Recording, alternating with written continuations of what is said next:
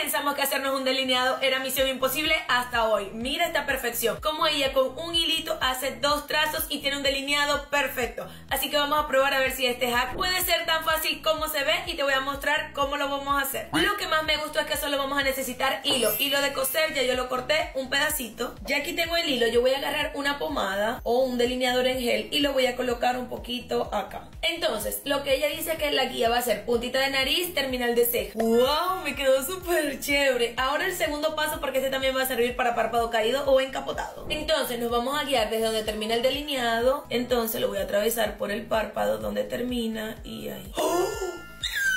Estoy impactada, miren qué chulería. Aquí se me dobló un poquito porque obviamente al abrirlo, esa es la cosa de los párpados caídos. Porque yo tengo párpados caídos, mi amor. Ahora vamos a rellenarlo todo. Yo lo voy a estar haciendo con este producto que es un liner de NYX y lo voy a rellenar. Lo voy a hacer con el ojo abierto, ya que como les acabo de decir, yo tengo párpado caído y si lo hago con el ojo cerrado va a perder su forma. Y estoy impactada porque quedó genial. Ahora al cerrarlo va a quedar como ese huequito acá. Lo que voy a hacer es perfeccionarlo y a bajar. Aquí me corrió y aquí un poquito, entonces lo que voy a hacer es a limpiarlo, no pasa nada, y a colocar un poquito de sombra. Y este fue el resultado final. Amé con locura.